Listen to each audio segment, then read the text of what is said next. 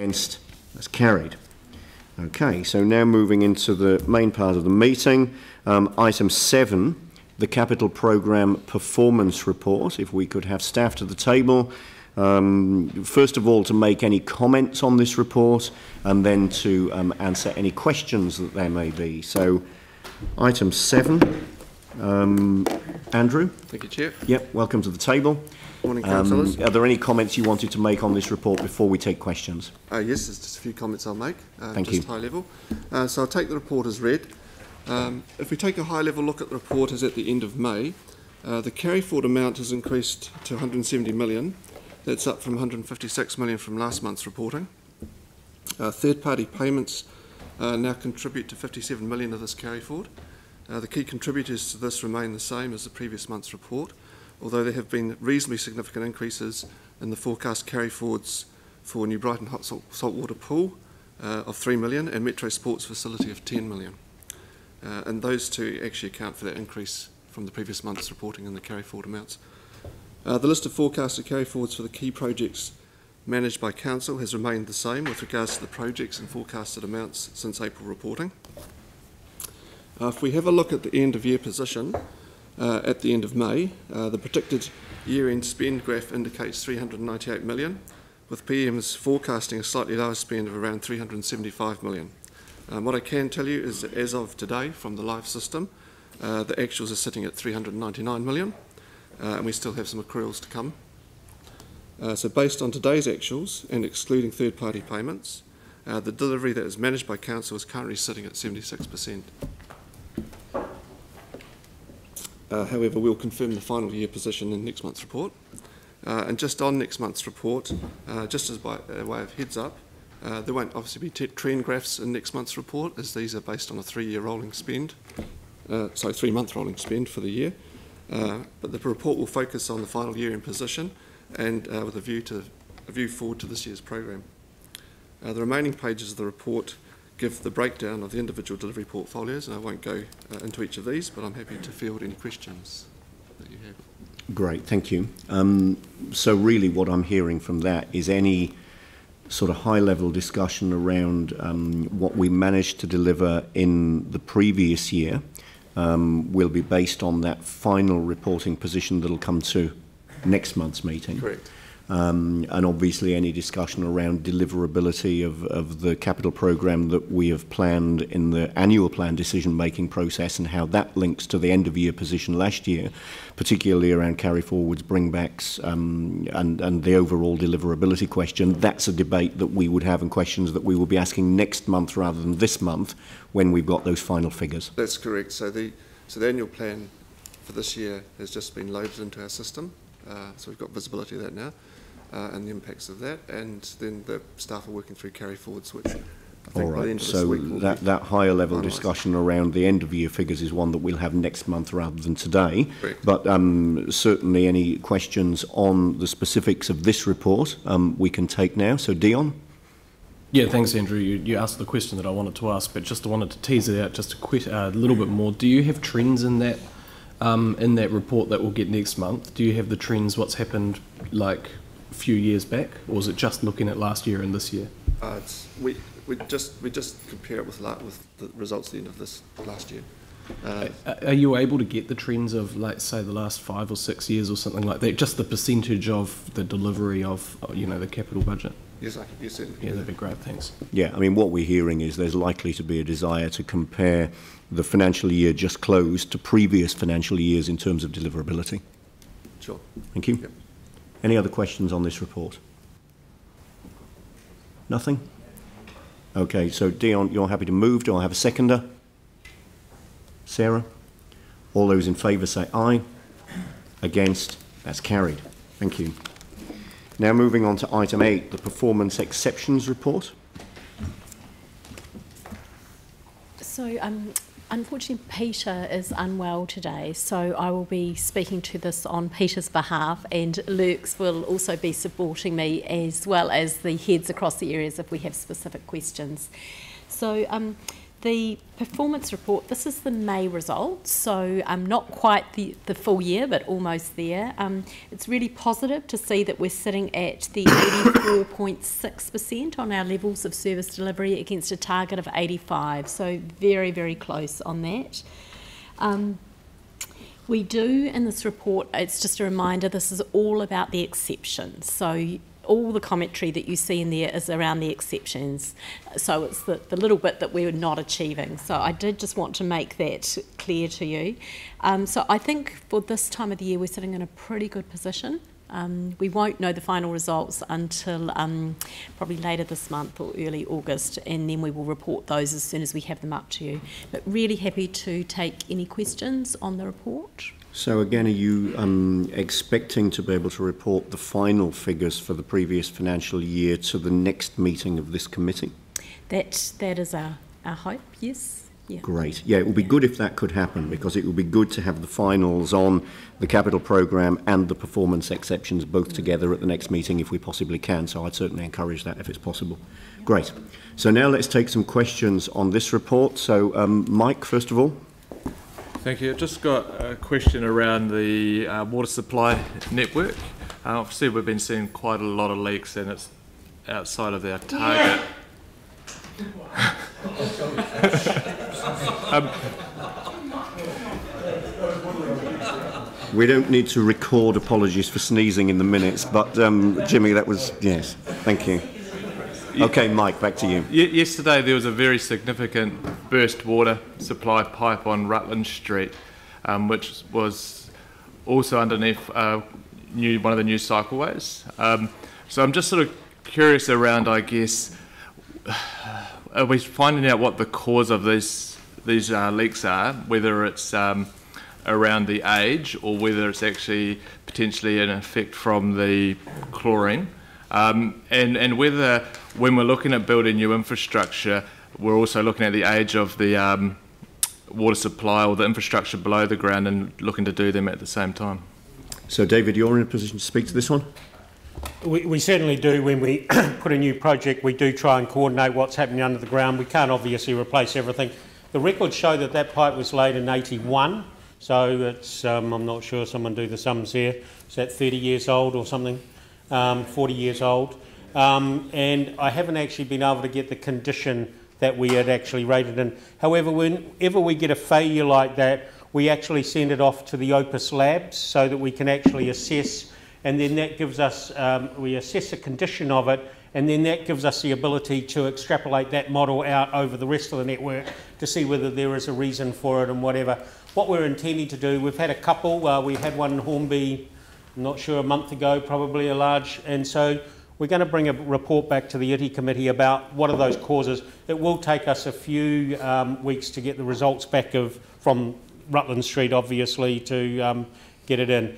That then feeds into our renewals program, and so it does replace and lifts the priority because it's not only age and condition, we have um, vulnerability and past history of failures and things that all lead into our renewals program and whether we make a decision to upgrade or not upgrade when we do something on the surface. Does that sort of explain half of the issue? And we'll get a more detail when that report comes back from Opus to the ITI committee. Thanks for that, David. So I'm just curious. Obviously, the water has been chlorinated, was chlorinated for well over a year. Did we see a spike in leaks to our network probably after the six months of it being in? Has there been a spike? Uh, certainly, there has been a spike in, um, in leaks, and you'll see those around, and we've reported those again up through the uh, two monthly report to the ITI committee. Um, the problem is uh, it's a complex issue about what causes corrosion, cor corrosion and how it in actual fact happens. And so we are analysing those. We are getting information back uh, from the consultants around, um, uh, sorry, from the contractors around what is causing some of those leakages, particularly the ones uh, at the joint uh, to the property, uh, which is the big area that we've had real problems. But when we get a big blowout like the Rutland Street, basically, you know, there can be a number of drivers. It might be in an intersection. It could have additional heavy loads. Uh, the bedding may have failed and it might have snapped. We may have got situations where uh, the couplings have failed as opposed to the pipe. So, look, I, until I get all that information, um, it's hard to actually say that's caused. But if we look at the big ones that have happened in the last um, sort of 12 months, we were, we're going to look at those and then bring that back to ITE uh, to give you a bit of an idea of what are those, some of those causes of those biggest, bigger disruptive ones. And we've probably had six or eight of those, I think, in the last 12 months. So just one last Yeah, question. Um, so from the information you've so far seen, is there any link between the chlorination of our drinking water and the leaks, the amount of leaks we're seeing? Certainly, chlorination changes the nature of the water, and so it changes uh, the potential um, processes that go on in there. Um, it would not be a only uh, thing that causes it. It's a complex interaction, and I'm sorry, I should have Helen here, who is uh, a scientist that can explain it better than I can. But it's a reasonably complex. But yes, any change, um, you know, if if we were, um, uh, it's particularly um, what's the word? Uh, complex when you're using groundwater. Apparently, it's a lot less um, of an issue when you're using surface water, but groundwater causes. You will find exactly the same things happen in Hamilton, uh, in um, Hastings, and has happened in Napier, um, and for those kind of um, kind of issues. So we are again looking at those complex, but it's to say one cause, it's not as simple as that. So I think it would be fair to say that when the report comes to ITE, the kind of issues that have been raised in Mike's line of questions today um, could well be expected to come up in that meeting when the report's presented. And we are expecting those, and we're bringing the information. But one of the problems that I am having is that not every failure is exactly the same either, and so there's a real complex um, information coming in, uh, particularly around the uh, service connection leaks, which are a variety of different reasons about washers, around age, around um, metal corrosion, around a wide range of sorts of things. Um, but there's definitely, since chlorination's come, a, that, that's been an uptrend in that. But we also have been in that conservation mode, um, dry periods, and so there's been a, a whole pile of messages uh, about that as well. So. All right. Thank you very much indeed. Thank you. Lastly, when we get all this information through, can we get a dollar figure to actually sort of what the impact of the leaks have been? And So you want the cost to repair? Is oh, how much saying? extra we're spending now fixing the network um, since the chlorination was put in place, especially if it's actually proving to What, be a what we are trying to get into our account system so that we can measure preventive maintenance versus reactive maintenance, and basically what you will see is a spike in reactive maintenance. Um, again, um, our account system's not quite as detailed as we want, but we've got people doing a lot of work and some very good work on that reactive versus planned. Obviously, planned is a lot more effective and um, cheaper to do. Um, Reactive is a lot more expensive. However, you need to react. You just can't stop not reacting. Yeah, and that'll result in a discussion that we'll need to have with the LTP around reactive maintenance versus um, planned um, renewals. Yeah. That's fine. Thank you. Um, so I've got Dion, Pauline and Yanni. Dion. Yeah, thanks, thanks, Mike, for bringing that one up. Um, the other one that I wanted to bring up on that water issue is, or water stuff, um, is the wastewater. And I, I see here with you know, 71%, and that came through the resident survey. But I just wanted to get a little bit more of an understanding of what the work that's happening there um, to get that level up, because obviously wastewater is a huge um, uh, investment into the city. That's on page 48. I think it would be Dave again. Because it doesn't really go into much details, it just says initiatives underway. I presume you're talking about um, LTP 18, which is the uh, whether people feel it's reliable. Yeah, Um, we're doing a lot of work. Uh, the issue that we've got, um, we have again reported up through the, the uh, two monthly reports to the EDI committee, the work we're doing around inflow and infiltration, which is really uh, the issues we get when we get storm uh, events. Um, basically, we get a, a, flow of, um, of storm uh, water into the sewers, which actually lift it, uh, lift the, uh, or, or drop the reliability.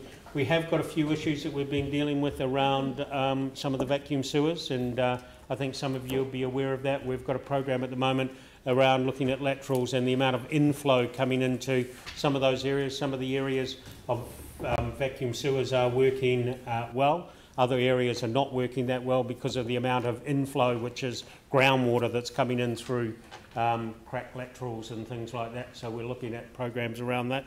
So there is a number of issues um, coming that we have got initiatives. Unfortunately, it's not an instant fix. I can't actually go out there and do something tomorrow that will lift that. It's actually a gradual climb up there.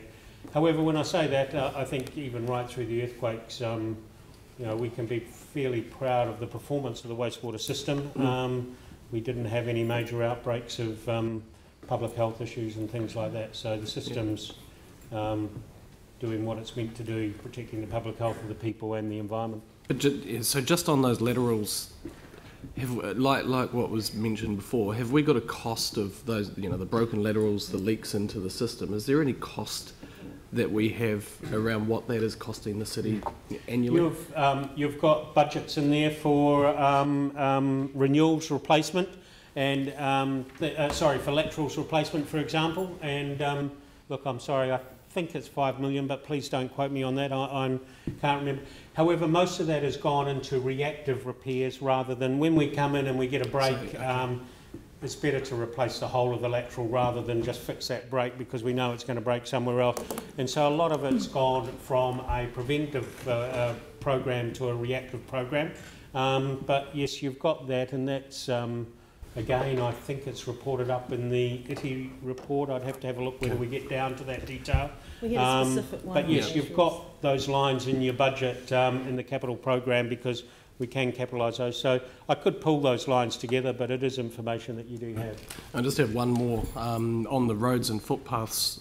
Obviously, we're still we're still quite low on the satisfaction there. I just wanted to know how we're progressing with the um, the investment case for the the craft money.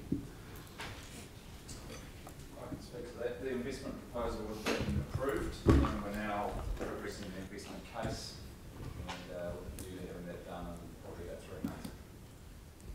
And then once it's done in three months, what happens then?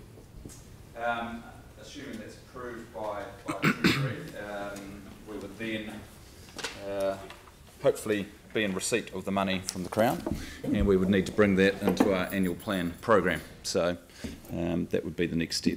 And does the changes to NZT, what the things that are happening with NZTA, will that affect this much?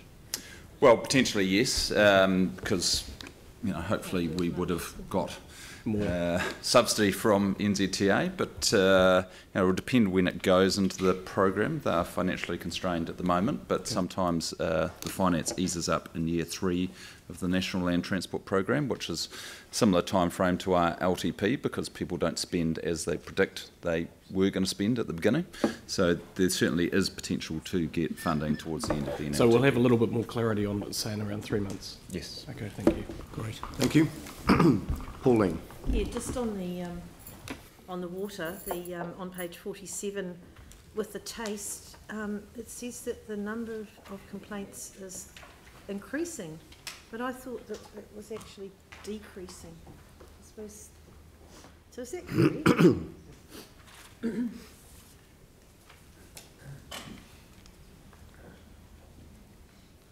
Is someone able to comment on this?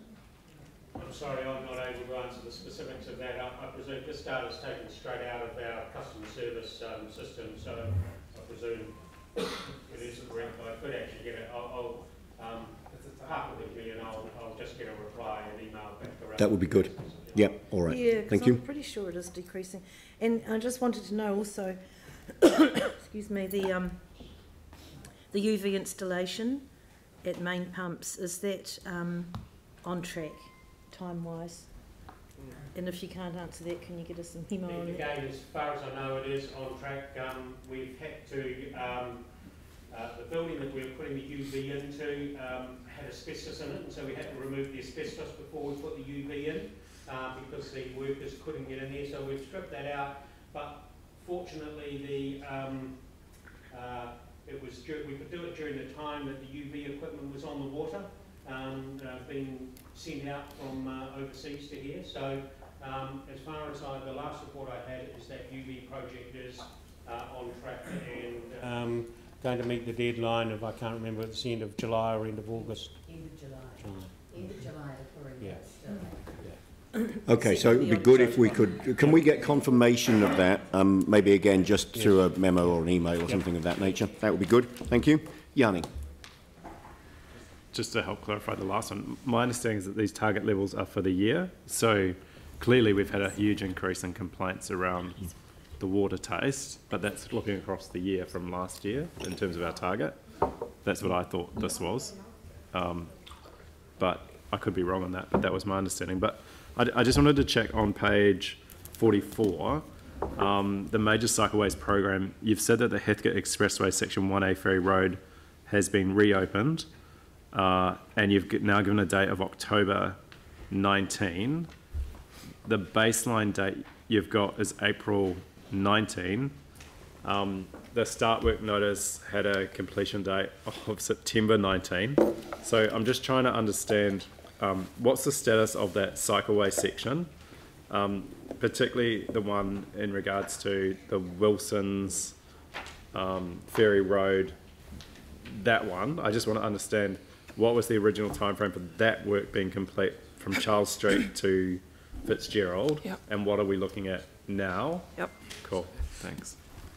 So, um, this is the Isaac's construction contract at, um, going from Fitzgerald Ave to Wilson's Road, past the old Lancaster Park Stadium. Yep. Yeah, so part of, um, part of the confusion here, and I apologise to the, um, committee, is, uh, that we hadn't updated our baselines following a major change to design early in the process. So we updated our baseline in our, in, in our project reporting system, which changed the baseline date to October. The construction, the current status of the construction is that um, they are actually cranking along really well. They will be finished ahead of schedule. Um, there was a minor delay at the start. Uh, that said, they, their, con- their construction completion date for the contract is uh, early August, and they are on track to meet that, so they'll be out of there by the end of the month. Thing for that section is there's no delay. No. It's No, of the time. there's been a minor reporting overlap from our, Right. from our end, but there's no, there's no issues. It- They're on track and they will finish within, um, uh, within the six months that we've talked to the community about. And in fact, the contractors down there are getting some really good feedback from the community.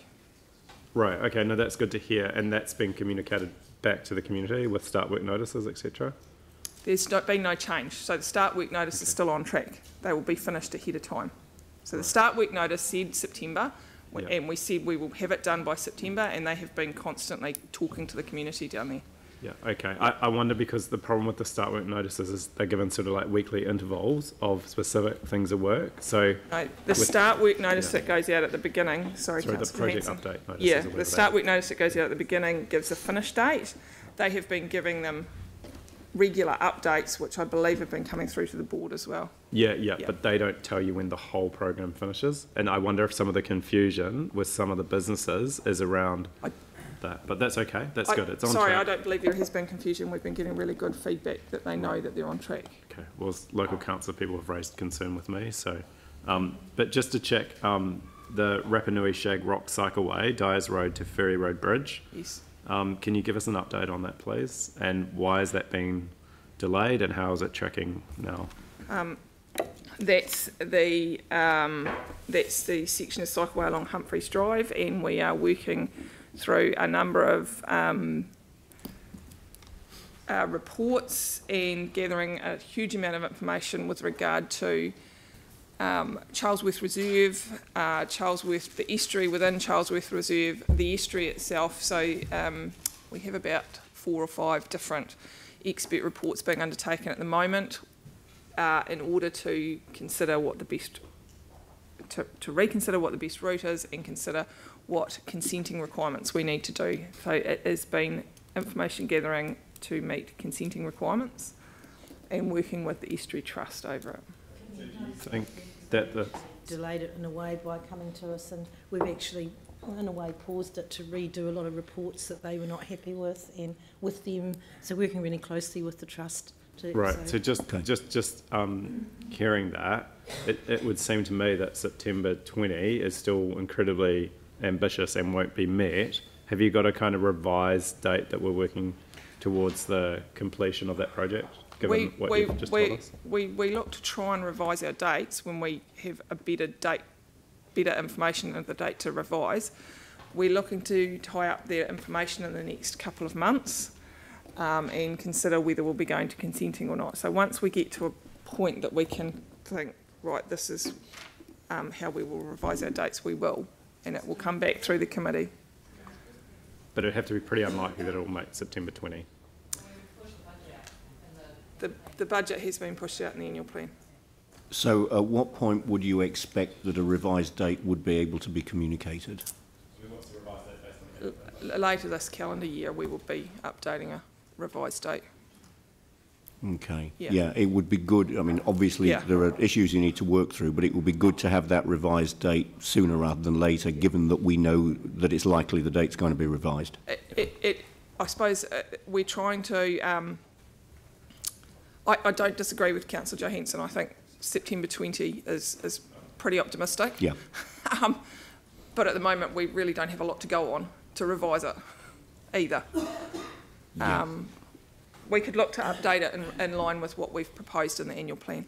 So we will That do would be that. good. The information that you just shared with me is really good. It just probably needs a little bit like that, something in the report that says, you know, that's what's happened, that's why it's been delayed, and we're working through a new date or something, just so it's just got a little bit more detail.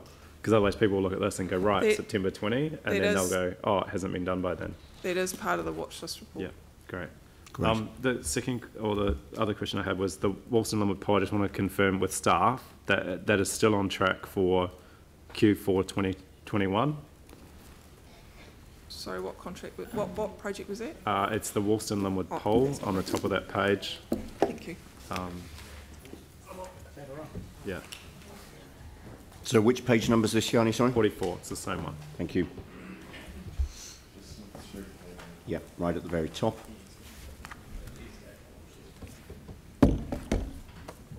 What, page you on? Uh, page 44.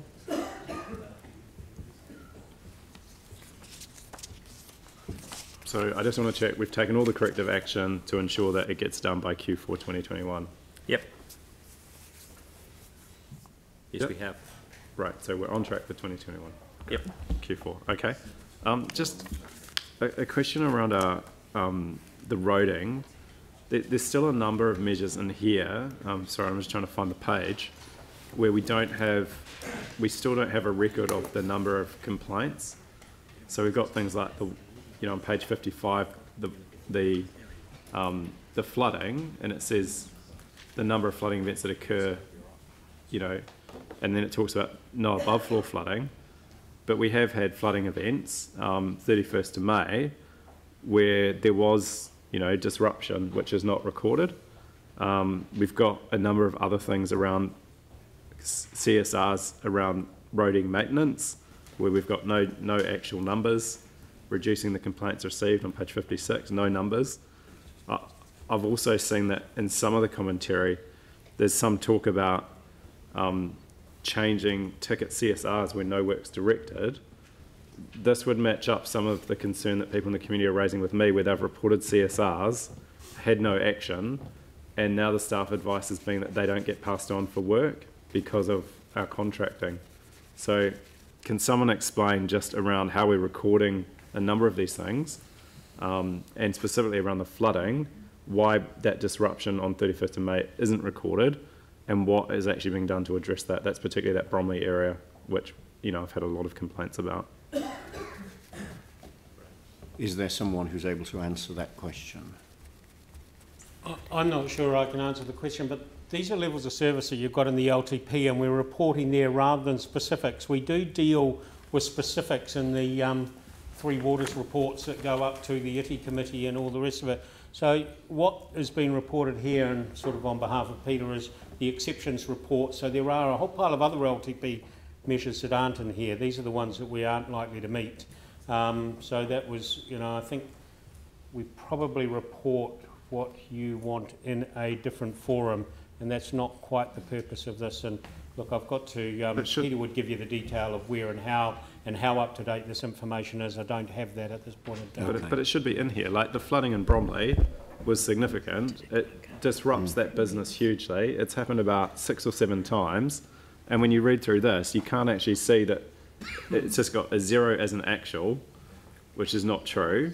And it doesn't have any reference to the area that is, I mean, there might be other areas in the city that I don't know about, not in my ward, but it's got no sort of reference to here's a hot spot, it's not meeting its target, and here what we're doing about it. It would appear to be based on what we define as a flooding event, because you'll see in the next sentence, no above-floor flooding event since July 2017, and then the comments about 31st May. Carol, did you have some comment on this? Yeah, I was just going to make uh, the distinction about the definition here. So um, we can certainly follow it up, but my understanding is based on the definition of habitable floors that nothing has been above that trigger. So that's on page 54. We have a specific one around the stormwater network, and then we have another one around the number of flooding events that occur. So there's two measures. One, I totally get that it's above floor and the, you know, habitable, the number of habitable floors affected. But the other one, it doesn't, is the more general one, where the Bromley flooding issue should be being um, tagged and should be being raised, and we should be able to look and see what's being done to address it. Yeah, because disruption um, certainly could be defined as something other than an above-floor flooding event. There, there seems to be an anomaly there. It would be good to see what the intention was in setting that level of service. So can someone just explain the whole CSR process that we have in place now, where like CSRs are not being responded to, are not being put through to the contractor or being removed? Um, It would appear that that's outside the context of this meeting, but it would be good to have it reported back sorry, on. fi- 55. Um, we are looking to quickly, more quickly remove tickets that have no work as directed. Um, it's like people complaining about things like mowing not being done, and then I get a response back from staff to say that nothing was passed on to the contractor because that's not part of our, our, our you know, our response. So we've got a huge issue with customers ringing our call centre, thinking that work is going to happen. No response back to them to say, sorry, we're not doing that work, um, and your CSR's closed. We don't even have the number of complaints now, and we've been told after each performance report that we've had, oh, we're working on it, we're working on it, we'll have it by 1st of April, we'll have it by 1st of July. We're still not getting the statistics about the number of complaints. Yep, yep. I can't Um, understand it. It's an important issue, and it's one that we do need to hear back from staff on. Um, I'm advised that that information isn't available to be given in that level of detail now, but we certainly should and are interested in it and Can we would like the answer to that question. back on it? Yep, absolutely. So if we can um, note to get a memo back on that, that would be good. Um, it's you know something that we hear about anecdotally, and, and certainly the issue that you've raised, Yani, does require some further information and explanation. So yeah, if we can get a memo back on that, that would be great. All right. Um, so in terms of further questions, Tim. Thank you, and I do apologise. I was meant to bring this up this morning, but on page 44, again, um, down at um, the LDRP, Cashmere Worsley f- flood storage. So I'm not quite sure if anyone can answer this, but if someone could come back to me, it's just marked as amber, unlikely to meet delivery completion date. Corrective action is required. So if staff could come back to me and just fill me in on what the process is and what's happening, that would be much appreciated. Yeah. Is there an answer to that now, or would you prefer to come back separately? I'll come back to you. I, I could dig it up out of here. I do, in actual fact, uh, though, have do an an- have an answer on the um, UV. Uh, the UV is going to go live apparently on the 14th of August. It's actually in the commissioning stage at the moment, so they think that that will come forward. So um, it's all installed. It's all going through the commissioning stages. Um, so that's the um, date that they've uh, given me. All right. Thank you.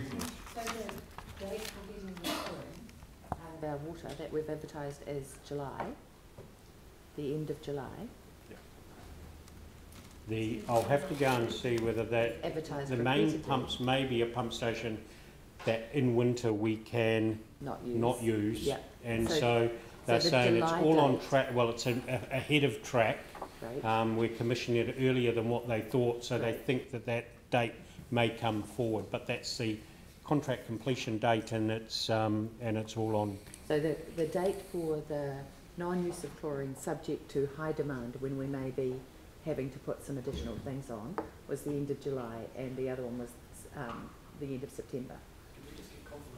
And, yeah, oh, sorry, I'll have to get that from, Yeah. uh, from Cool. Helen, who's. I mean, I guess at a high level, and I'm not hearing anything that suggests that there would be, but if there's anything which has been planned which is inconsistent with the report that we received, um, where, you know, we were able to be confident about moving on from having chlorine in the water by certain dates, um, we would need to know about that. I'm not hearing anything that suggests that that's the case, but we need to be confident that if there was, that would be called out. And I didn't ask staff that specific question. I asked them a specific question around main pumps and UV Yep. So that's why my reply is very specific. And if that. this work is proceeding earlier than expected, Correct. then yeah. we would expect that it wouldn't have any implication for the date that we take the chlorine out of the water. There is a lot of other total. work going on as well uh, to meet that date, date if you know, uh, around uh, wellhead upgrades and things yep, like correct. That. I'm not hearing anything that gives me a cause for concern, but we just need to be confident that if there was, it would be reported.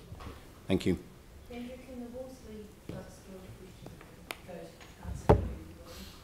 I'm assuming that all of the information that's been requested in this meeting where we're going to get um, a memo or written information back, that that would be circulated to all councillors, not just to the person that asked the question. Yeah, absolutely. Are there any further questions on this report? Okay, so we've got a resolution in front of us to um, receive the information in the monthly corporate performance exceptions report, level of service delivery graphs, exception commentaries and performance by activity reports for May 2019, which I'm happy to move. Yani's happy to second. I Just wanted to add an additional resolution that um, the committee notes concern at the lack of reporting in regards to CSRs and asks for a report back on the whole CSR, end-to-end CSR process. I don't know that we need a report back. We've asked for a memo to come. Um, if the, I would imagine if the information that was provided in the memo was insufficient to um, address the issue, then we may see a need to request a formal report. Um, we've certainly had conversation in the past about when matters are able to be addressed by way other than a formal report, which would take time and would need to go through a process. I'm more interested in getting information back quickly so that we can respond to it than asking for a formal report that may take some time to prepare. So, so then can we get a note that we do get a memo in regards to the whole CSR end-to-end process and the ability to respond to maintenance so no- requests and reporting? So just some wording that reflects what we discussed in the, Can we ask that that memo gets attached to the next finance and performance agenda so that if we do want to make any decisions in response to it, we, we can consider it? This has been raised for nearly a year now, and we have really poor information and it really frustrated Okay. people in the community. let's get the memo.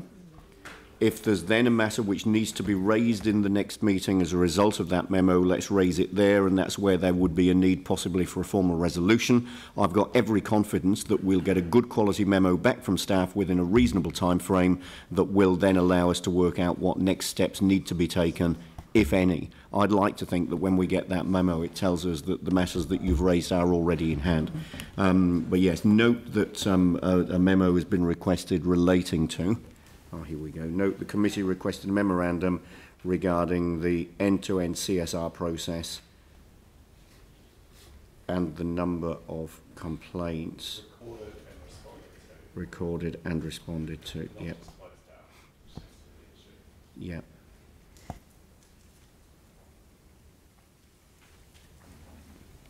Okay, that's great. And I mean, that notes what we asked for. That's fine. I'm happy with that. I don't see a need to go any further than that at this stage. But if we're not satisfied with the memo, and I expect that we will be, or I hope that we will be, then that would um, lead to something being raised at the next meeting in a more formal sense. But I think we need to let this run its course before we start asking for formal reports. Aaron. Just, just a question on that note. Does everyone have a problem with the CSRs and lots of individual issues in their ward? Because and I just go to my board advisor when there's individual ones, and we seem to get resolutions every single time. Yep. The only thing we ever have a problem with is the leak repair, but that's been explained to us. Every single meeting we've asked the question that there's a delay because of the sheer number, but beyond that, so can we have the option to vote on that separately? Because well, I'm it's not noting wanting provision. It. I mean, the, the thing has been asked for. We're just noting that it's been asked for. It relates to the issue in this report which Yanni drew attention to, um, which I think quite rightly would want information about. And it may well be that it isn't a citywide issue and it may be that it's an issue that some are closer to than others or have experience of that others don't. But all we're doing is noting that we've requested a memo, which is a point of fact. There's nothing to vote against because we have done that. From the email back from staff, um, Snap Send Solve queries relating to long grass do not generally get responded to, as there are a lot of inquiries on long grass citywide. Yeah. So, you know, people are complaining about something they think we're going to do something about that we're actually not responding to, and we don't have any record of that or any visibility of it. Yeah, I think it's right that we would want to drill down further into that issue that you've raised, and my, I think doing that by way of a memo is, is absolutely the right way to do that. Anne.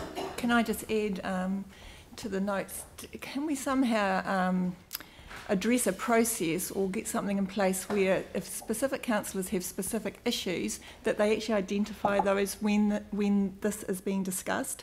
Um, with respect, I'm not sure if using words like lots and huge and many people is actually helpful. I think it's, if you're going to talk about a specific, specific issue, then I think you need to bring that specific information. I think, on the one hand, some councillors might be expecting specific um, information from staff. I think this, the same should apply. If we're going to ask, um, criticise, then I think we should have specifics rather than using that kind of language, which actually casts aspersions on lots of. Um, uh, of the work that council does. So um, could I could we get that somehow invo- uh, um, included in that note? That the process also includes um, how councillors um, ask for information? I don't know. I mean, I think that's about our way of working. I don't think that needs to be noted in a, a resolution. But, I mean, I, one of the points that I was intending making was that it would be really good. There have been a number of issues that have been raised in these questions which hadn't previously been signalled, which have led to information needing to be provided by way of a memo or further written information rather than being able to be responded to at this meeting. Had we known that these matters were going to be raised, um, we probably could have arranged to have had staff in the room or work done prior to the meeting so that they could be answered in the meeting. So there's a, a discipline issue, I guess, around you know raising and flagging certain issues prior to the meeting so that we can handle them effectively. Um, the way that we work and the level of respect we show to staff and process, I don't believe is something that we need to record in a, um, a note in a resolution, um, but certainly is, is a comment um, and well made, and thank you.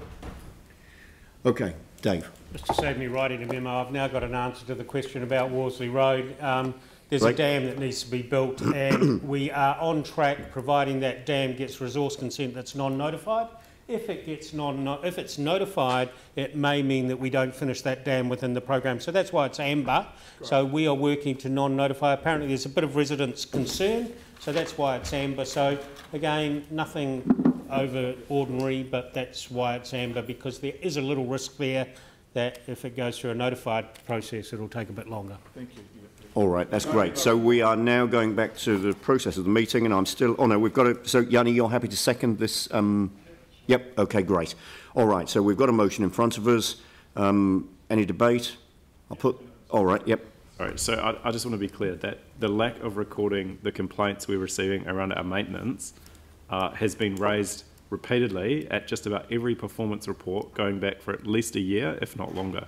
So, you know, apologies if people think this is out of the blue. It's not. It's been repeatedly raised at every committee meeting that we've had these uh, reports, and I'm still horrified to think we still don't have numbers of complaints being reported to us in our performance report around the number of complaints that people are making. Thank you. I'll put the motion. All those in favour say aye. Against? That's carried. Thank you. Thanks very much. Um, item 9, Community Facilities Earthquake Rebuild Programme bi-monthly update for July 2019. Darren, welcome to the table. Um, any commentary on this report before we take questions? Atamare, yes, I've got um, Paul McKeefrey with me today because a lot of the questions historically in the last wee while have been around um, the service that, that my team project manage and deliver for this guy. So we work hand in glove together in the same group. So Paul manages all the community centres throughout Christchurch. We uh, work to deliver that service for him through rebuilds and repairs, etc., etc.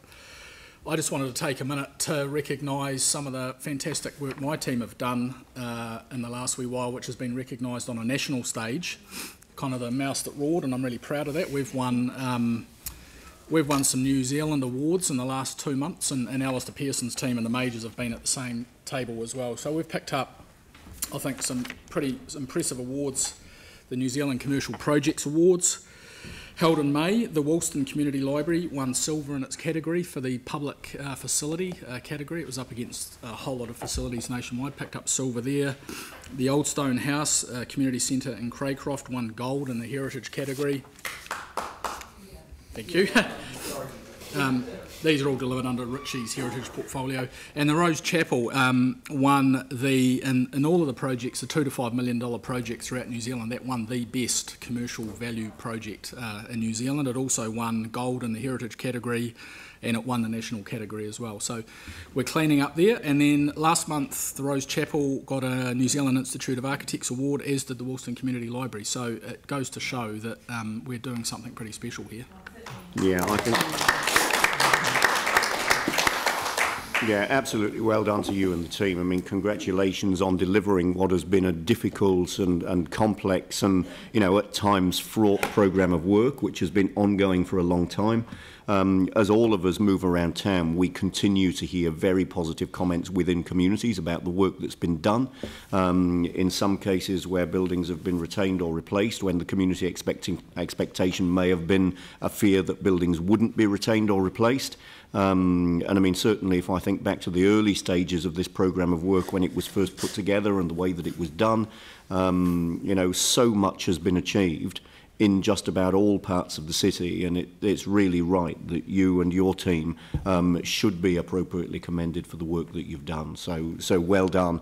Um, I think we'll look back on this programme um, with a lot of appreciation in, in years to come. I think the legacy of this will be um, significant, to be honest. Thank you So very well much. done. Thank, Thank you. you. Tim, yeah.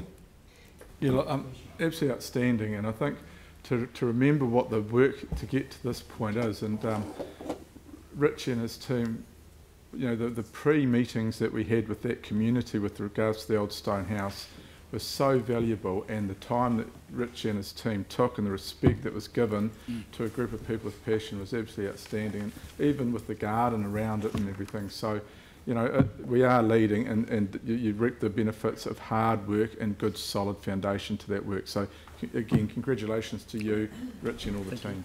Well That's done. great. Thank you. Thank you. Um, So, yeah, questions. Yeah, sure. Yani, if, I will take comment on that, and then we'll move, just- and then after that we will move into questions. Yeah, I mean, I do want to acknowledge our staff and say thank you very much. And also, just, I mean, if you could pass on to a number of those contractors who worked on those, the actual workers and, and some of those subcontractors. I know when we've done tours, I, I was really impressed with the work, and I think it's a tribute to them as well. So, um, great to um, see the awards being won. Um, and thank you to those people that have done the hard work on that. Great, thank you. Now let's move into um, some questions. Or Darren, did you have any commentary on the actual report itself before we move to questions? Uh, well, only than that, it's bi-monthly. We're getting very close now to sort of, there's, there's two parts to it. There's the heritage program and then there's kind of everything else, pools, libraries, c- uh, community facilities. Um, we're just about through on the community facilities side. We've got a few projects on hold, which no doubt questions will come about today.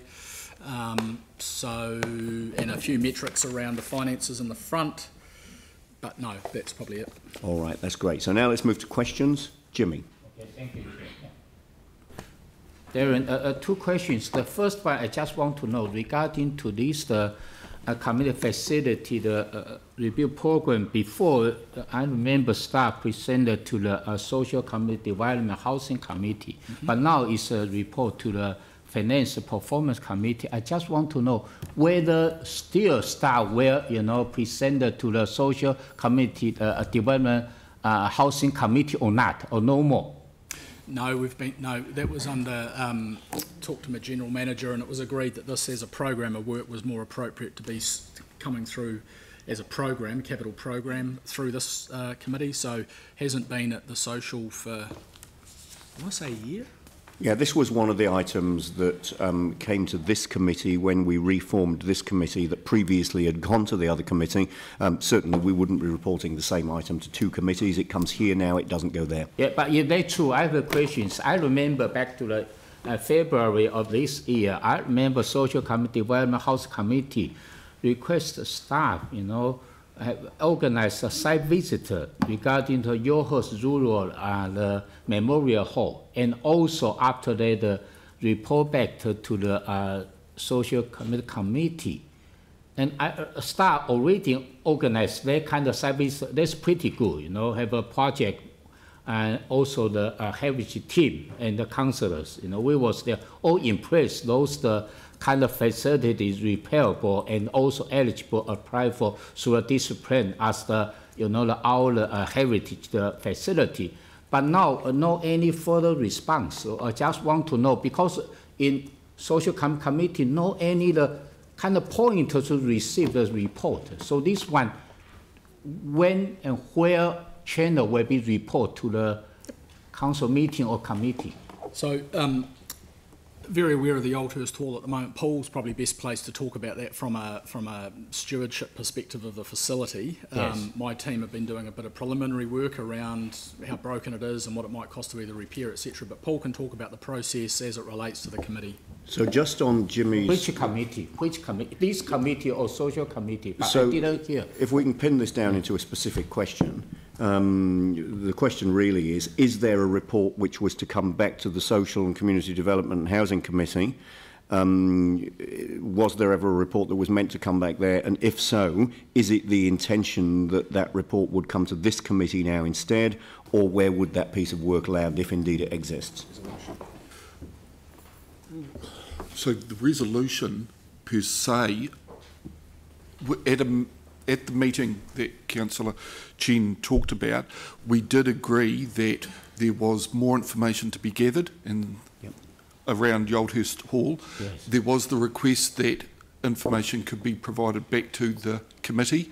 Um, at the moment, we haven't got all of the information from Yaldhurst Rural Residential Residents Association, and nor have we got all the information that we can report back to any committee, whether it be your committee or the or this current committee. Um. I was just going to say that the, the, the, individual project which they're looking at here could go back through social community. Yeah. The program, the overall program, comes back through this. Thank you for clarifying that because that's an important point. Yeah. Um, that the project is a, as a community facility belongs in the Social and Community Development and Housing Committee. The program of work, which we're interested in here, okay. belongs at this committee. Okay. Uh, one more question, Chair. Okay. The 2.2 a the forecast $4 million. I just want to know what the $4 million is being held for and when they will be in a position to review this uh, surplus, $4 sure. million dollars The $4 million, so um, this keeps coming up time and time again, and then in fact the Mayor requested a paper last year, which I presented, I think it was last year or, or it could have been years ago, days become weeks, months and years, um, around what that is. So very simply, when the project was set up, when the program was set up, it was agreed August the 28th, 2014.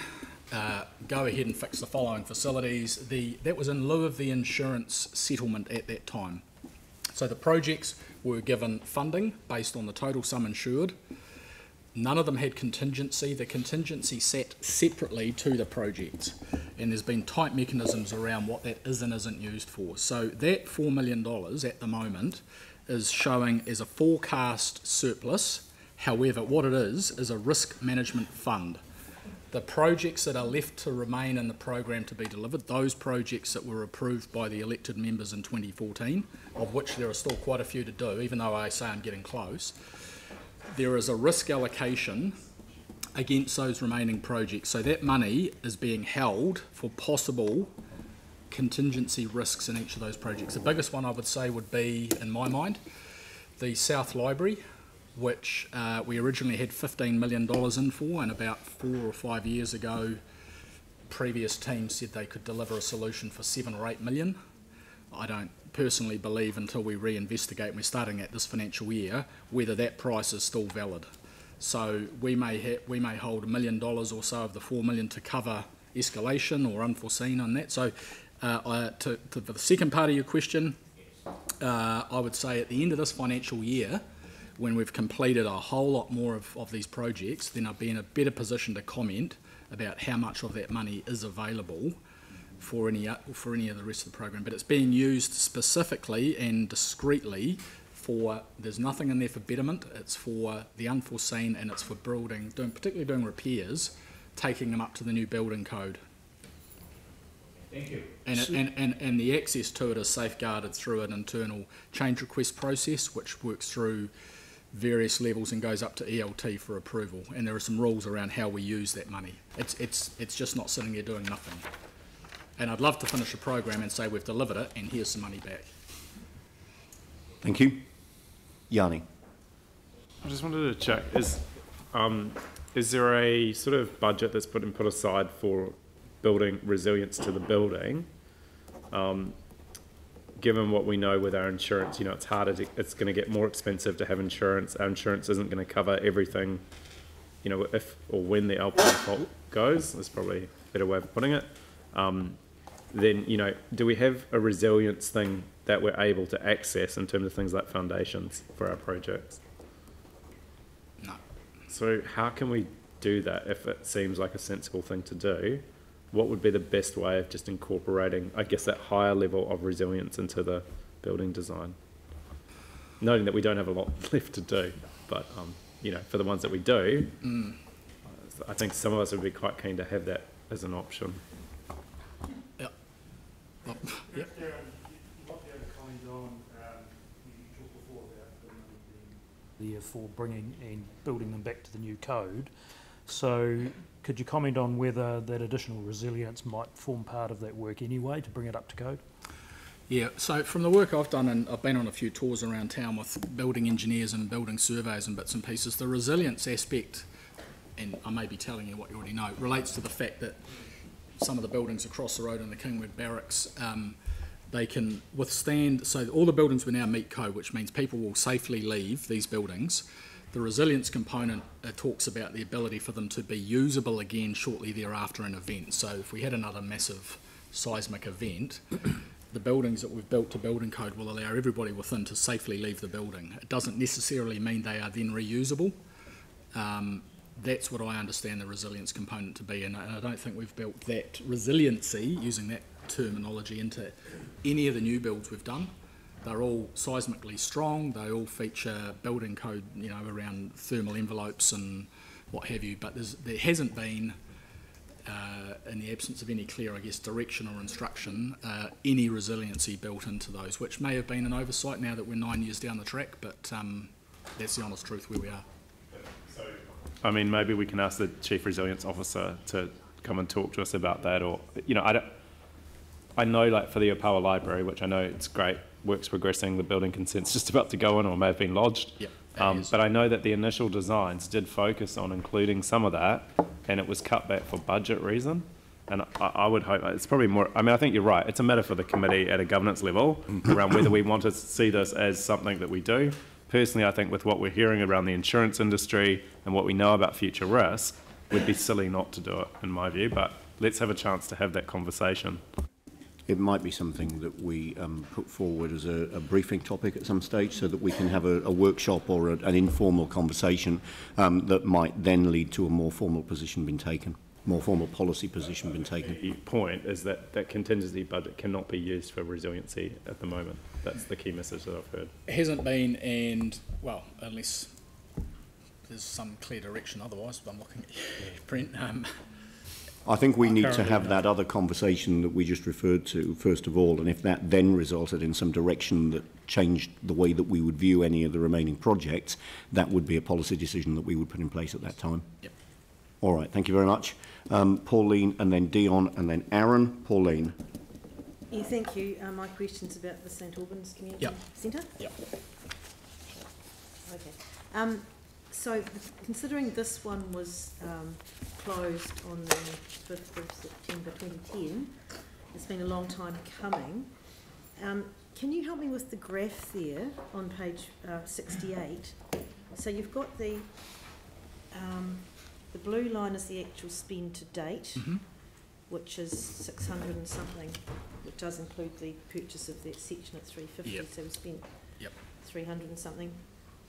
So the grey line is predicted forecast. What does that mean? By June 2020, we would have spent. for the avoidance of doubt, just ignore that. That's that's that's computer generated, and um, I'm not going to Is Andrew still here? Yeah, the PMO typically take the, the money we've spent to date, if you just extrapolated that out as a generally a straight line, where would it go? So what you should be looking at is the yellow, Yellow line. one. Yeah. So that's looking at a completion date of September 2020 then. I will ask the project manager, Richie. October 2020. October 2020. Um, so I also know that because this one has hit some bumps and it has been delayed, we removed the temporary transitional centre off that land in, in preparation for this build.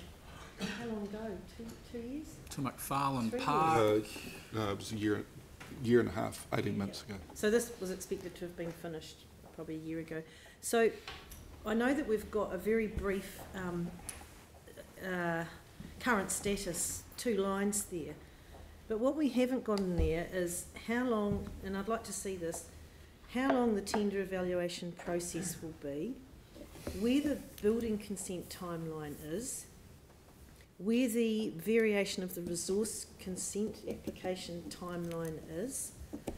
Um, so I think, would it be possible to have those in for the next report? Yeah, so absolutely, no problem at all. Because I don't know why we hadn't lodged a variation of consent earlier or a building consent earlier. Rich, you might be able to answer that. Well, we can either, do you want to do it here or do you want to have a, we can just, it's up to you. All right, there you go. As well as running the Heritage Program, Richie's also project managing this project. Yeah, thanks, hi Richard. Um, so, Councillor Cotter, we've got the resource consent variation and the building consent in. It's expected to come back to us in the next two to three weeks. Um, what was the other questions, I'm sorry? Um, the tender evaluation process, how long will that take? so I've that closes in July the sixteenth? Yeah, I've extended that into the first week of August because one of the tenders, we've got four selected um, builders. One of them couldn't, didn't have enough time to submit, and I need all four responses because the budgets are tight. So I've extended that in the first week of August.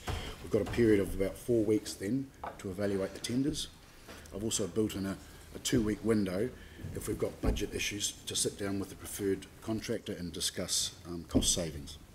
The market's really hungry for this job. There's um, there's less and less work available in the vertical space in Christchurch at the moment. The last job we put out for tender, we had 22 tenders put in for the job, so we've narrowed this down to four, and all four are very, very hungry for this work. They've asked for a little bit longer because we're sourcing the product out of Europe, um, the cross-laminated timber. So we think in the interests of safeguarding the budget for the citizens, we're going to give them a bit longer to hone it so that we get the best price we possibly can. Yeah, okay, so I've got a couple more questions. So considering that you've pushed out the, um, the tendering and all that, when, when do you think construction will begin? I'm hoping to get, hoping to get the contractors on site in October this year. October, that's great. And the other thing is, um, with the CLT, um, there are, there are people talking about our, um, and I also want to build in our procurement and sustainability features and we do, but part of that is the CLT coming from overseas. Um, Yes. how do we, how do we rationalise that with our, um, climate change targets rather than Well- local product? Part of, the part of the sustainability for this project was ordering the CLT locally, Yeah. um, supporting the local community, but unfortunately, everything changed. Um, the Nelson-based company who also has a facility in Australia basically bumped the prices up significantly, which means the budget for St Albans was cost prohibitive.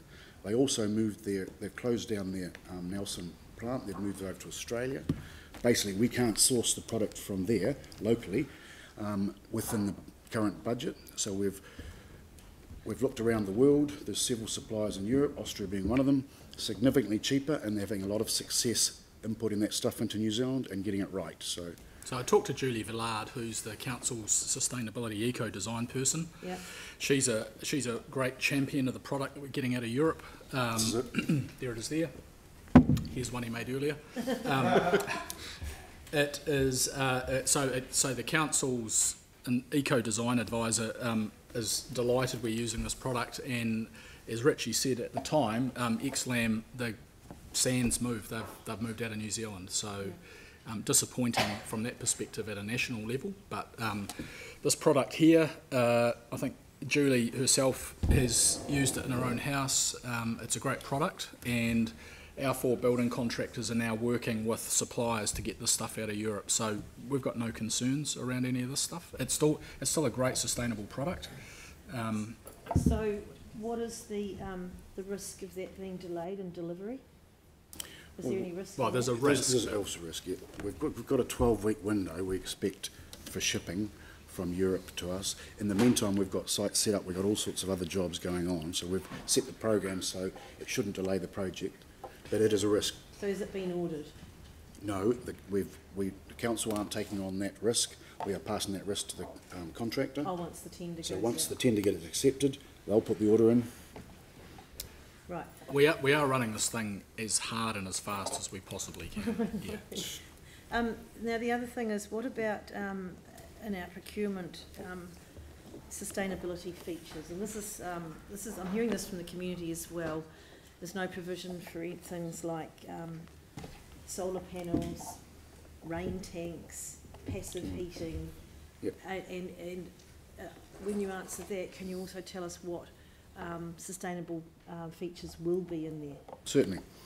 So let's start from the top about what we're going to be putting in. So as far as insulation goes, um, for sustainability, we've basically put a high insulation rating well above the building consent, so it's easier to heat.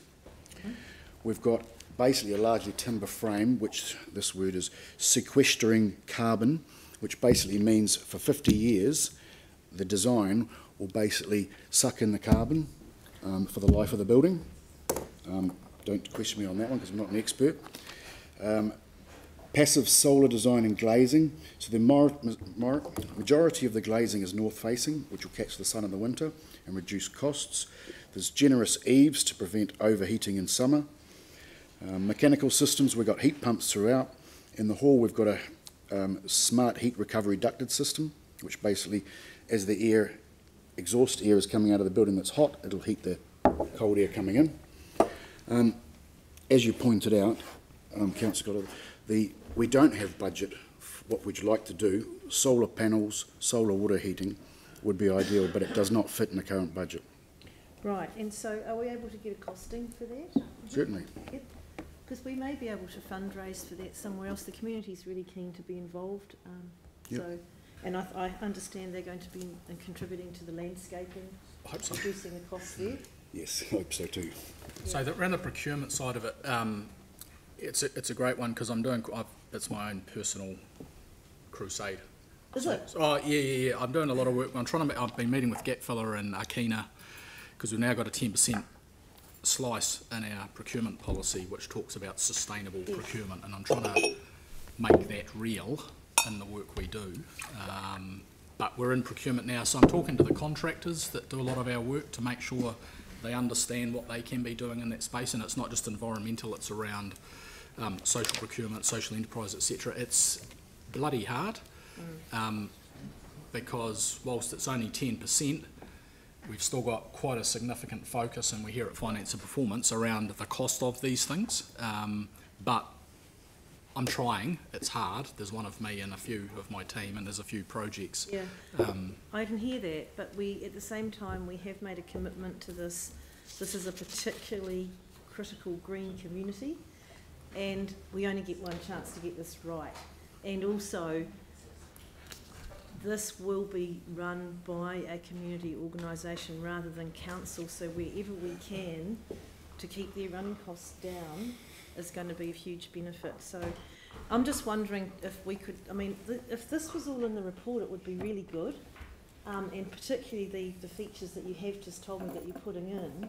Um, so a slightly fuller report I think would be really Okay. good. And one last question, if I may, is um, the site's sitting there empty, it's got the Fahey fences around it. When are we going to get a, a board outside to, o- on those fences to tell people what's happening? And on those boards, can we have this information, please? Um, yes, as, as soon as possible is the answer to that, Which is, which is in the next week or so. I'll, I'll get on hold of comms Yep. and I'll arrange it now. What we were going to put is the signages when we actually go to construction, so we're telling them what we're doing, but certainly we can do that. I that. think fairly soon, and, and even a, um, a link to the c- a council site where there is more information if they want it would be really good, but particularly the, the um, sustainable features, would, people are hungry for that. Okay. really- Yeah. That's great. Thank you. Thanks for your indulgence on that. I'm- Thank you very much. Thank you. Yes, So yes, I will, yep. Yep. So moving on, um, Deon, Aaron, and then Mike. Deon. Yeah, just a quick, quick one around the um, Band Rotunda, the Edmonds one. Yep. Um, have we secured that, the financing on that thing? We did. Yes. Great. So it's, there's certainty about the project Going going, ahead, to It's in procurement. Oh, it's, It's wow. just about to go to procurement. To find a builder. Oh, that's really good news. It is great news, yeah. Awesome. I look forward to seeing the next stage of it. Thank you. Aaron. couple of quick questions uh, around one's projects like the Riccarton Community Centre and the Opawa um, Library that are new builds. Can we on here get the square meterage? Because it's got the budget. Cost per square metre or? No, the square meterage of the the, project. Yep, yep. Um, just because then people can do wee back of the envelopes. Because I look at the Opawa one and it looks about the size of a house and it's 667, so it seems about right. Uh, and then other projects are the same cost as Burwood Hospital per square metre. So, and we're not going to operate in any of them, I don't think. Um, well, not yet. Uh, and then my other question would be on the wood there. Is that is that the cladding? What's the? or is Sorry, what's the question? Is it that, cladding? um, Um, no, it's basically, it's internal structure. It's, if, if you took the CLT out and used normal timber, Stop banging the table. sorry. Right. If you took this product out, which I did ask um, was an option, you would have to then put in st- a steel um, structure into the building. So this is a structural product. I, so it's load. No, it won't be load bearing if it's internal walls. Yeah, it is. It is load bearing. Yes, sorry. You got load bearing internal walls. Yes. So if you ma ever make changes to the building, that's going to be quite expensive. We built, we built, we built, we built the Heathcote Community Centre out across laminated timber, so it's increasingly, for the fact you're not using coal to make steel to buy it from China, it's, I know it's coming from Europe, but it's Right. got the embodied carbon content and, um, yeah, so it's proven. And what's what's the what's the square meterage rate on that? I'm sorry, I don't Is have it that with me. We'll factor that in next time we come back. Yeah, uh, yeah. Just be be handy to know because a single story buildings, most places still wood frame, four by two, plywood, or, or uh, internal ply if it's a commercial space, or you might go uh, uh, jib board. Um, it's- yeah. Cool. Thank you. Mike. Thanks, Andrew. Um, just a question um, from your projects removed from program list um, Yes. around the Shirley Community Centre. Yep. Um, underneath in that um, paragraph there, you, you actually talk about it being removed from the budget, then go on to another community centre um, for the Burwood, Avondale, and Dallington area. I, I just want to make sure that actually this um, the Shirley Community Centre has not been removed from budget to allow another community centre in another area to be built.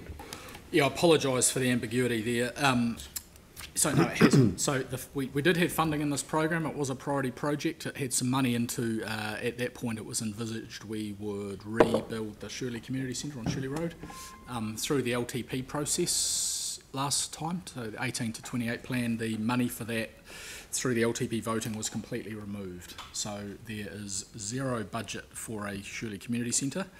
Um, the apology I made is probably the ambiguity there um, around what future facilities in that part of town might look like, and that'll be for Paul to determine through the community facilities network plan. So just to be crystal clear, there is no funding for a Shirley Community Centre, uh, and any future community centre in that ward would be um, the product of the community facilities network plan. So, so when we went through the long-term plan process, um, and the Shirley Community Centre was obviously removed, what we were informed was it was actually pushed out past 2028 and the and the years from 2029 and so on, and actually the the money was still sitting out there, and would therefore therefore become available in the next long-term plan process.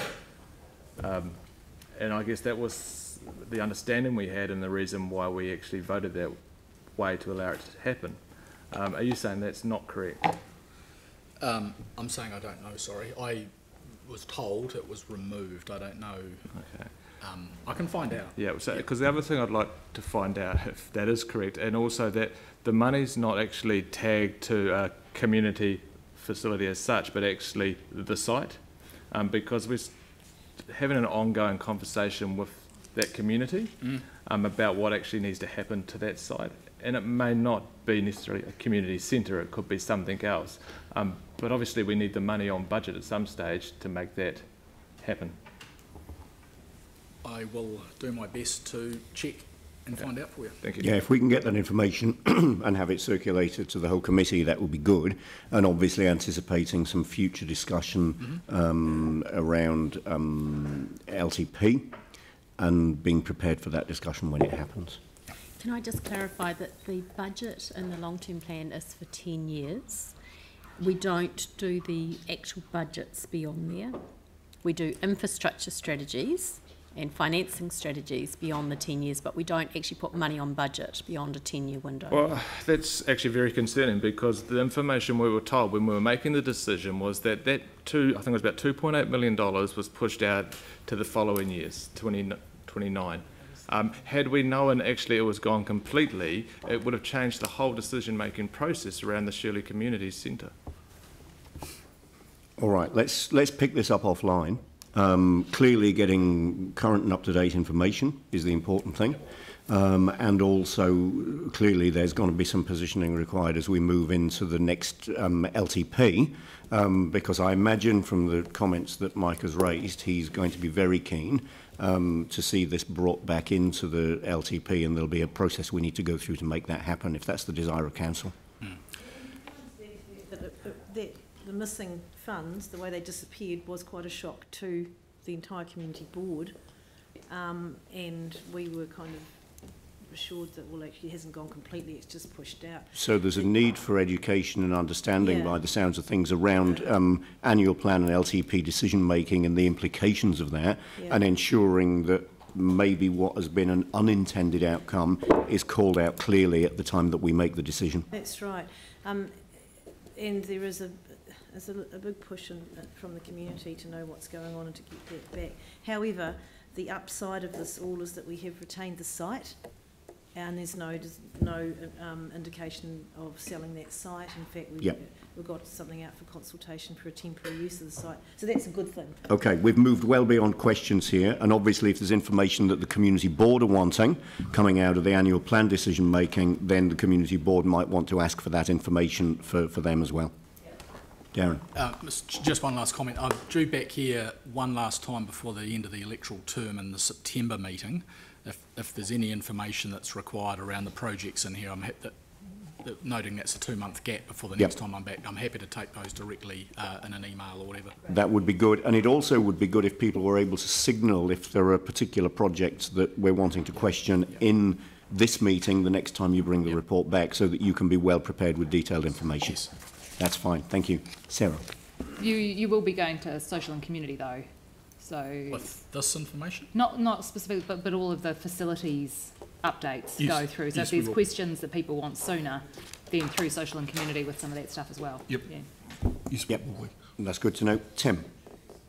Uh, thank you. Um, this morning, Darren, in the pre-council meeting, I, I talked, I asked a question with regards to um, projects removed on page 78 with regards to the Huntsbury Playground Community Building. But um, I've since um, had a, a Brent Smith had a word in my ear, so I'll be talking to him offline. But I guess just to to, to, to give a heads up, when we set up council and or community council partnerships, we want to set them up so they don't struggle. So I guess it's not so much your your cause it's probably more your you Paul how we get those relationships going. But as I said, I'll catch up with Brent and um, yeah, we'll keep Yeah. in the loop if that's Agreed. Yeah. And more information will come out to the community boards in relation to the activation part Yep. as we're socialising the so uh, the community facilities network plan over the next couple of weeks. So we've already been out to two boards, and so we are talking about that and sharing that information around there. And I was, I was actually going to mention that because it's sensitivity as we go into an election. Not that anyone's sensitive about that at all. It is key to keep the whole community board. So if that could be done through the chair, that would be really good. But um, I'll catch up with. And that comes back to a point that's been made repeatedly in the past, that, you know, partnering with community groups around these facilities is a great thing, and it's certainly something that we'd encourage, but we need to be sure that as well as willingness, there's capacity and capability on the part of each community group that we're working with, so that we're not inadvertently setting anybody up to fail. Yep, but comments noted. Yeah. And, and that, that's a, the, the, the comment. We don't even want to set them up to struggle, and I think that's the, the first piece. Because if they're going to, sit, by the time they get to fail, it's the relationship's gone. So it's actually yeah. But uh, All right, that's great. Are there any further questions on this report? I just had one question then, just to wrap this. Um, if we look at the projects still to be delivered, um, I note that there are three Banks Peninsula facilities on there, two of which I'm probably more concerned about than the other. Um, there's a process that we've gone through um, with the former council stables, Kukapa Hostel and the Little River Coronation Library. Um, that process presumably is intended to be the the process that determines the future use that means those projects can be brought off hold. There's a link between the two, Yes. which results in projects coming off hold. And then we activate our PM team and the projects start getting designed and fixed and built. So Yep. they're on hold because they require a future use, and when Yep. it's determined through that process, my team activates. Yeah, I mean, on hold is a realistic view of the world when we don't have a future use, and it's fair that that um, should be the case. But with anything that's on hold, there always needs to be a process to bring it off hold when we've done the work, and clearly that's something that can happen in this case. And the Little River Coronation Library, I believe, has come off hold now. So Richie's team will start investigating, putting it back together and reopening it. Yeah, fantastic, and that's good news. Excellent. All right, thank you very much indeed for that. Um, so, do I have a mover for the um, resolutions here? Okay, so um, all right, Deon and Deon and Pauline. Okay. So I've got to get out there. It's a reasonably non-contentious set of recommendations anyway. Um, okay, is there any debate? I'll put the motion. All those in favour say aye. Against? That's carried. Thank you. Now, what I'd like to do is to um, do the town hall um, before we break for morning tea, and then we'll break for morning tea, come back and do the closeout reports, and then move into public excluded. So, um, town hall. Um, any commentary on this as we move into this item? None really. Do- Okay. do- We're, we're getting near the end, that's what we can say, with Exactly. a smile on our faces, so. Yeah, that's, that's great. All right, are there any questions on this? Okay, um, James happy to move, Tim happy to second. All those in favour say aye. Against, that's carried. Thank you very much. Thank you for being here. Um, that now brings us to two minutes to 11. Um, let's break for morning tea and come back at, um, if we said 11.10, would that suit people? Okay, let's come back ready to start on the last open agenda item at 10 past 11. All right, um, we'll adjourn for morning tea. Thank you.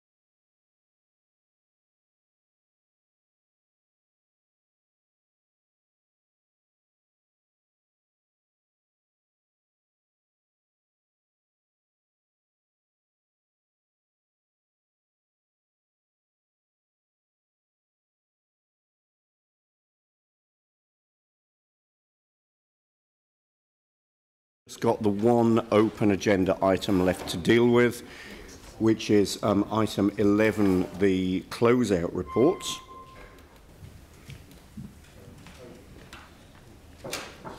So what we've got here is a, a list of um, closeout reports which have been requested by the chair. um, reasonably um, self-explanatory situation um, and obviously quite a variety of um, projects in these closeout reports in terms of size, in terms of um, work stream and, and work area. Um, was there any commentary from staff on this before we take questions? Uh, no, Chair, you've pretty much said what I was going to say. Indeed. Um, yeah, we've provided the list to, to Councillor Yanni, uh, yeah, um, Manji, sorry, uh, and he's chosen that list that's in the report. Um, the list on the uh, attachment on the report is just the projects that have uh, closed out in the, in the period from February to May. So, so the, questions. the attachment essentially is the list of possible projects that could have been chosen. For this list. Correct. The, the Um, and the list in the recommendation is essentially the chair's recommendation out of that list in the appendix. That's correct. The list that went to Councillor Manji was slightly bigger because we uh, that was projects that have moved into the close phase. So uh, effectively, for intents and purposes, the asset is complete uh, and is available for its intended use. Uh, the list in this report is the projects that have the, the project manager has kind of uh, signed off project completion, which is the completion of, of the asset, if that makes sense. All right.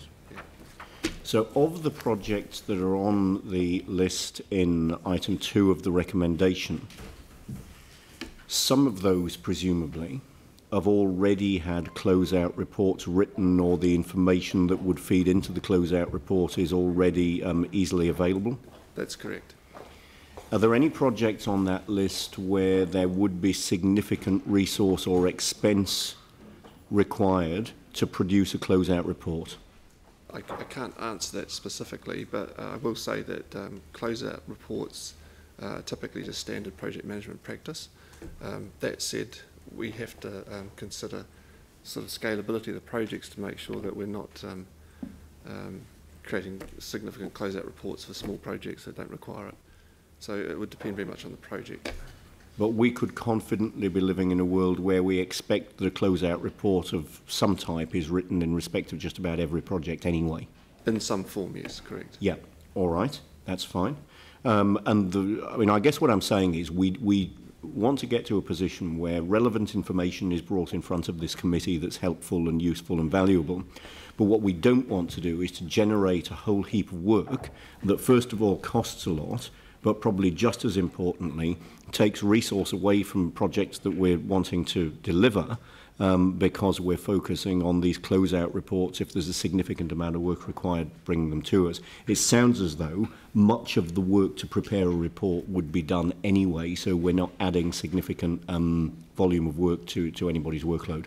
Yeah, I'd say that's correct. Most of the information is is, is part of the project management package, if you like, and that, that just they're just compiling that information. So All right, that's, that's good for us to know. amount That's fine, thank you.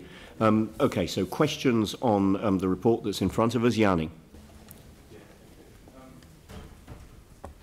I think one of the problems, I mean, it's really good to get the list, but we don't get any sense of the value of those projects. So I'm sort of struggling to understand how some of the projects have been selected by the chair, you know, what the criteria was, etc. Um, so it might be quite good in the future to actually get the value of the projects as well, so we, we can see. Um, just specifically in regards to Knight's Drain, I'm puzzled why, given that that project is not complete for stages two, well, three, I don't know about stage two, why we would be reviewing it now. I, I'm, I'm not sure how. Well, that- the review is specifically stage one.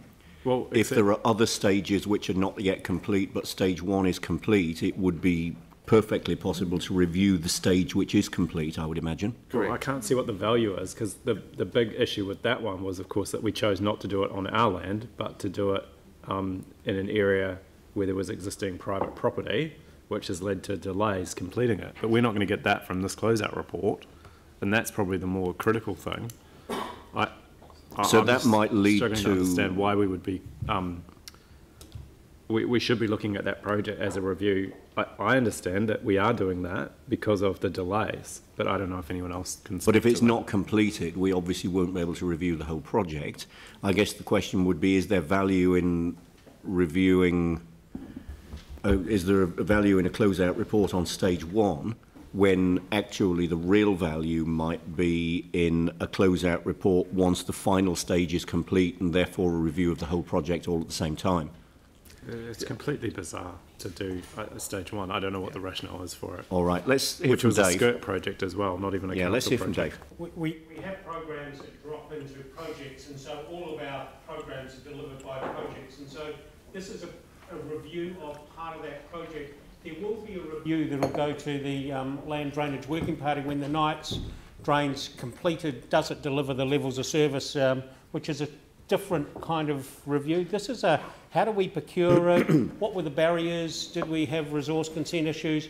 And that is done on a project by project. You could hold it if you wanted to and say, well, bring the three closeout reports and uh, if we break it into three, and then you could look at it. However, I think there will be uh, lessons learned at each project stage, um, and that's why I can't speak for the chairperson, but I presume he's just saying, well, we're delivering a lot of projects um, and programs like this, and so there may be a lesson learned that not only for Knights Drain, but for the other land drainage program work that we're doing. So your advice in response to the question is that there is value in looking at stage one of Knight's Drain, despite the whole project hasn't yet been completed. And you may again have a look at it at stage three, as when that's completed Yeah, as well, if you felt that was Obviously could choose to um, do that. Stage three on track, is that just all progressing? This isn't the opportunity for asking those kind of questions. This is, you know, we're focusing on whether this is the right list of closeout reports that we want. Right. Um, So if I there just- are questions on that, that would be put through the land drainage programme or through the ITE committee. Well, can I just check then? Because my understanding is that Knights Drain Stage One was a SCIRT project, not even a council project. I, I can't answer that question, sorry. David, have you got any why would um, comment on that? No, I'll, I'll can find it if I. Oh, on our website, Stage One, a new pump station and pressure main on Anzac Drive to discharge water from Knights Drain into Avon River. Stage One was completed by SCIRT in 2017. Um, I suspect that must be something different, Yani, because these are projects that have been completed in the last six months. Well, can anyone tell me what this project is then? Can we look into that as part of, so if this project was approved on this list, And it turned out that it was a project that wasn't completed in the last six months or that was a skirt project. Presumably that would lead to further feedback that it wasn't appropriate to be part of this list. But I would suggest that that work has already been done um, before it formed part of this recommendation that we know that it is a project that was completed in the last six months and that this project um, as distinct from one that, the one that Yani's talking about, wasn't in fact a SCIRT project, otherwise it wouldn't be on this list. I'm, I'm working in that environment, I think it's fair to say. All right. Can I just ask, there's some other ones that I'd like added. Um, the Hagley Oval, um, I think we need a closeout project on that whole project from inception to completion. Um, So was Hagley Oval completed in the last six months? Well, it's confusing because when we agreed to it, no further ratepayer dollar was going into it. There's been a number of decisions that have been made where other money's been put into it and it's been expanded. I, I think that Hagley project, in terms of the cricket and the oval, we do need to have a closeout report over, you know, the decisions that have been made and the scope, how things have been allocated. Um, like, for example, our board's never had a report on it, and yet the Yeah. work is being done. So, yeah, but that's on that's on here. I would just flag that that's one, particularly with um, the lighting issue, which seems to be coming up again, that we do need to get some understanding of it. I mean, if the purpose of this is to look at projects which will inform the way that we deal with future similar projects, um, the Hagley Oval was quite unique, and probably some of the difficulties around it have been because of its uniqueness and the, the unique circumstances in which it was um, created and run.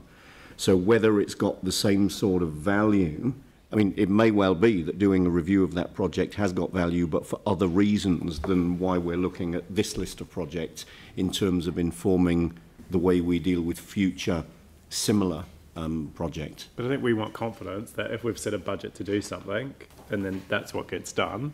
And you know, we have had it's been raised at finance and performance Indeed. previously Indeed. around some of the concerns around the Hagley Oval. um, for delays or for budgets, I, I personally think it's a good one to to to review. Um, the only other question I had was I noticed that there was no IT projects that were put on the closeout report. I, I think, and again, it's hard with the level of detail that we've got to know what IT projects, um, you know, are really the significant ones. It, it, but it does seem that there's some in here that possibly could have could have been, um, like the common business SAP enhancements, um, etc. So I just wondered whether there's any, if we could identify an IT one to review, uh, you know, have a closeout report around, I think would be useful. Because I'm still struggling to understand how we've got new technology that's not not able to provide the information that that that we need.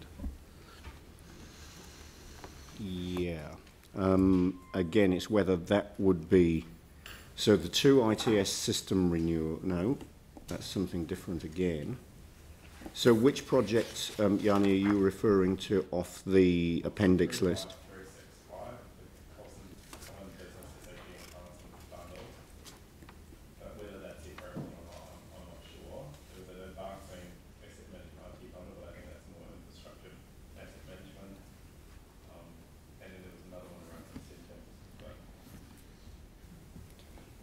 Can I suggest that we um, maybe take, oh yeah, thanks Leon. I might be able to help with that. Um, some of these are quite low value bundles. Some of them are only about like 50, 60,000. Some of them are sort of 200,000. They're kind of like a bundle of money.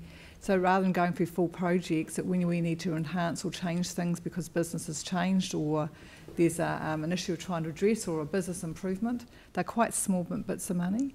Um, uh, but the bigger ones we do do closeouts for. Yep. So Yeah. um, does that help? Yeah, I mean, Yep. that's why Uh, they don't mean anything. You're quite right. uh, Yeah. No. No. Yeah.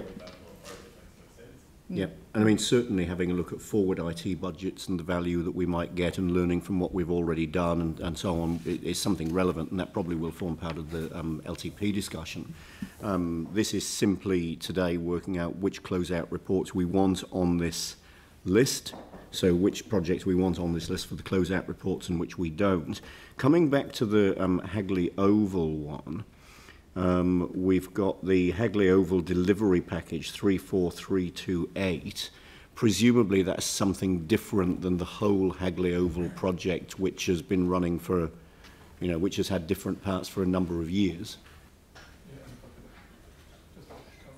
And when you've got a, a venue, a sporting venue that also runs sport that is controlled by a world body, when standards change globally, that affects us here too. So there are ebbs and flows, it's fluid. So that, and that's beyond anything that we can actually plan for and, and, and kind of control. So it's, Yep. it's just that one of those things. Not criticising it. No. Yep. raised concerns, given that the local community boards raised concerns, given that you know it's not something we've had a lot of visibility about. I think getting a closeout report around it would be really good. But the final question I had was around Ferrymead Bridge. Um, that wasn't completed last year, was it? I mean that that project was completed quite some time ago. So just trying to understand a little bit about the scope of that review because I, I do support that. I thought we did get some information back when it when it was complete, Dave. I think Mm. you may have just come in as manager around Ferrymead Bridge, Sorry, what was this? the Ferrymead Bridge project.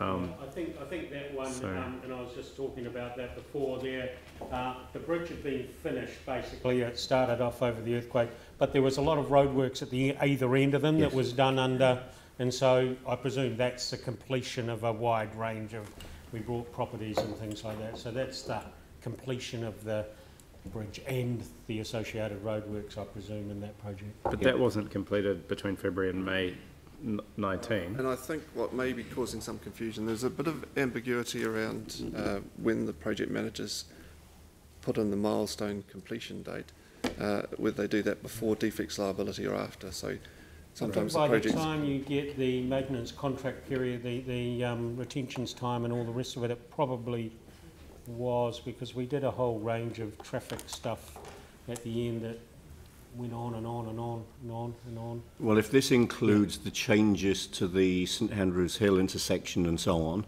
um, that was far more recent. Right.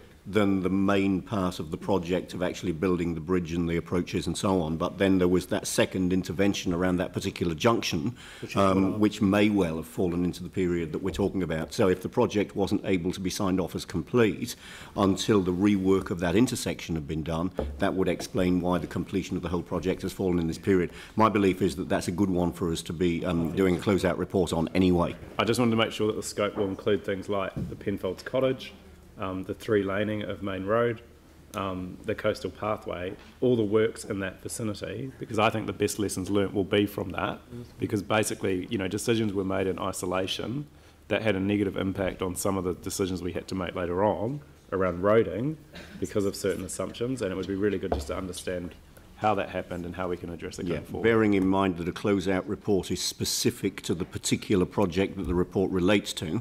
So anything that was part of that project could form part of the closeout report, but kind of the wider environmental considerations of the project wouldn't. But, I mean, when we get the reports through, if there are things that we're expecting to see in there that are not there, that will be the time to raise these issues. Well, that's why I'm raising the scope. It's like the point Mike made before about the water main bursting underneath a brand new cycleway.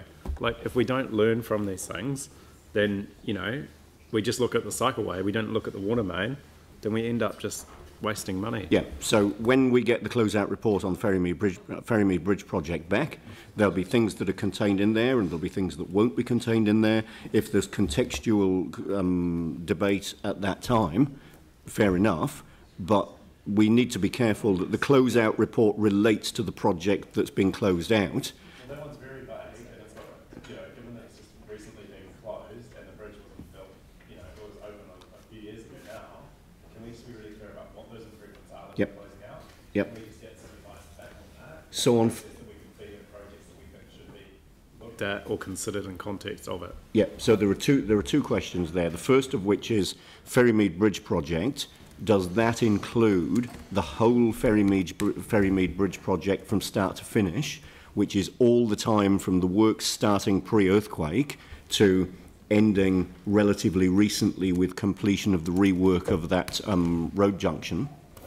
And I think we would expect that it would, because we need to look at the whole project through its various um, phases. Um, and to what ex- what's included in that project and what other related um, matters in the same environment wouldn't be covered in that project. It probably would be good for us to know that um, in advance of the closeout report so that we know what to expect. It's what's in scope and what's out of scope of that closeout report. Um, and then there's another question, really by implication in what Yani has said, that if we have got other projects that councillors feel would be good for future closeout reports, what's the process for getting those considered in addition to this list or in a future list? Uh, well, my understanding is that um, it's, uh, Councillor Manji, as chair, makes that makes the decision around what's on the list. So I guess you'd have to go through Councillor Manji to. Yeah. So I mean, it might be good in future if we were to um, have a, a, workshop around this, maybe just a short half-hour workshop around it, so that there could be some discussion. Um, before we get to the point of a list being put in front of the committee. Um, I'm confident with what we've got here. Um, but yeah, I'm very aware that a more inclusive process may have allowed um, councillors to suggest projects perhaps in their wards or which they've been closer to through various committees and so on um, to be included in this list. So yeah, there may be some improvements that we can make to process of putting a short list together um, with future iterations of this. Certainly. All right, thank you. Are there any further questions? Mike? Uh, just just a quick comment on the Papanui parallel section two. Um, that's been completed for a long time. Is it one, I mean, you're probably closer to this than most, is it one that you believe would benefit from us seeing a closeout report? I don't see the benefit from it, but it was Is it a, if we were going to look at a, a typical piece of cycleway, or if we were going to look at a closeout report on a cycleway, is that the one that we would choose? The theme does, they take learnings from every one that they, they implement, so I don't, I think it might be a doubling up. So if we were If- going to we'll put, just- can we I just I do think if we were going to put one in front of this committee, so that this committee could be comfortable that that work length. was been Can done we do the so length of the whole Papanui parallel? The whole road.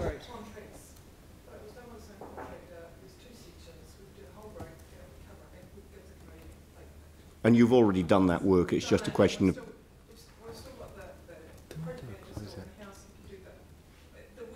great. So take out the words section two. Do the whole thing. And then we can say we've, we've done a closeout report on a whole cycle way. assuming we're comfortable with that, then we can be comfortable with the way that you're doing closeout on cycleways. Did, did we not do a closeout report recently on cycle cycleway? Was can just Brendan, Brendan's report. Yeah. Brendan's report was the last closeout report. There That's on would- the Little River one, wasn't it? Yeah. All right. Yeah, Little River. We did one on the Little. I just yeah. Uh, If it you've was got a a little, s- it was the Little River. Yeah, I'm just wondering, do we need to keep doing them on cycleways if we're not?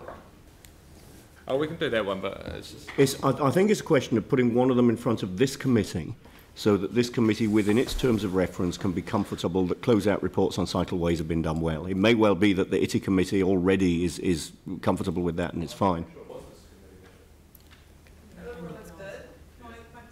Please do. Quarryman's Trail is due to finish in the next few months, um, uh, in the next few weeks actually, then we'd be, we'd be looking to do a closeout report on that, and that look through the whole route, again, a number of contracts through that route, but, um, we've looked through the whole route, that would be our recent one. Would there be more value? The bulk of the work on Papanui Parallel has been finished for at least two years. Why don't we look at the more recent one? And given that it's going to take us some time to get through this list, that means that when we get that information, it'll be recent. So replace Papanui Parallel then with Quarryman's Trail. Okay? And then we're not duplicating work, we're looking at recent um, completion. Yep, that sounds eminently sensible to me. Good. Any other questions? All right, so I'm happy to move this. Is there a seconder? Tim Scandrett. All those in, is there any debate? All those in favour say aye. Aye. Against? That's carried. Thank you. So that brings us to the end of the open agenda. So I will now, um, we'll have a resolution to exclude the public. Item 12, resolution to exclude the public, that at this time. The resolution to exclude the public set out on pages 100 to 101 of the agenda and pages 5 to 6 the supplementary agenda be adopted. So I'll move that. Mike Davidson will second. All those in favour say aye. Against? That's carried. All right.